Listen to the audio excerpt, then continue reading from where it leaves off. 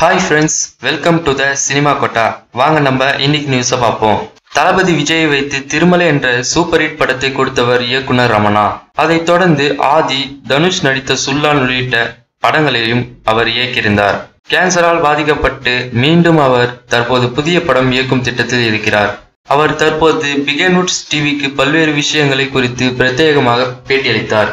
அப்போது திருமலை படம் உருவான விதம் குறித்து பேசினார். அப்போது பேசிய அவரிடம் திருமலையில் ராகவா லாரன்ஸிடம் பைக் ரேஸில் தோற்கும் விஜய் தலை என்று அவரை பார்த்து அழைத்து வசனம் பேசுவார். அது அஜித்தை நினைவுபடுத்தும் வகையில் அந்த வசனம் எழுதப்பட்டதா என்று கேட்கப்பட்டது. அதற்கு பதிலளித்த அவர் ஆம் இருவருக்கும் இடையில் போட்டி இருக்கிறது. எம்ஜிஆர் சிவாஜி ரஜினி கமல் என அனைவரிடமும் போட்டி இருக்கிறது.